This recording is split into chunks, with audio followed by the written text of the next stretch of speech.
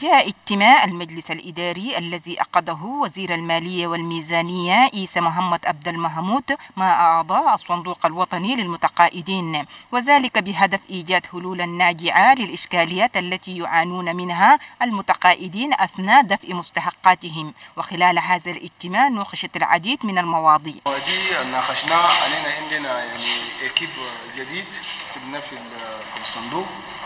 والاكيب ده يعني في شلنا العمل الاسامبليه ناسيونال يعني نادبنا وسألنا من ودي عن الريتريتي.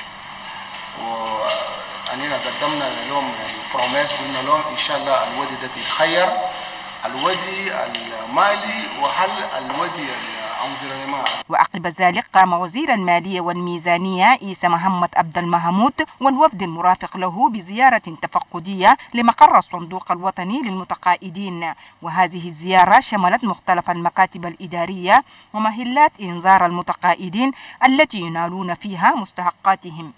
كل الأمور دي تتخير وتم ما دايرين نشوف يعني يقف في الشارع وعسكر يدقوه ويطردوه. الشيء ده بتم ما دايرين نشوفه في البلد.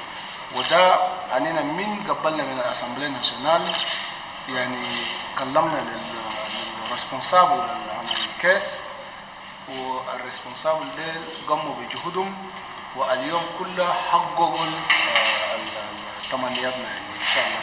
والجدير بالذكر أن هذا الاجتماع يسهم إلى هلهلة المعاناة التي تواجه المتقاعدين أثناء دفع مستحقاتهم.